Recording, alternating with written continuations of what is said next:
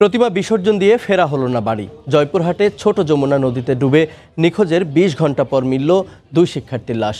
স্বজনদের আহাজারিতে ভারী চারপাশ। শাহিদুল ইসলাম সবুজের পাঠানো তথ্য ও ছবি নিয়ে রিপোর্ট। বিশ ঘণ্টা অপেক্ষার পর অবশেষে মিলল সন্তানের হদিশ। কিন্তু জীবিত নয়, লাশ হয়ে ফিরল তন্ময় ও সঞ্জিত বুধবার সকালে নিখোঁজ দুজনের সন্ধানে দ্বিতীয় দফায় ছোট যমুনা নদীতে উদ্ধার অভিযান চালায় রাজশাহী থেকে আসা ডুবুরি দল। এ সময় সদর উপজেলার চকশ্যাম ব্রিজের কাছে পানির তল থেকে আধা ঘণ্টার ব্যবধানে দুজনের লাশ উদ্ধার করা হয়। এ সময় কান্নায় ভেঙে পড়েন স্বজনরা। চান করতে যায় আপনার প্রতিমাটা না এগুলো উঁচা হয়েছে ও আবার দাবাইছে। ওই দাবা বা যায় না এগুলো পাকেট পড়ে গেছে।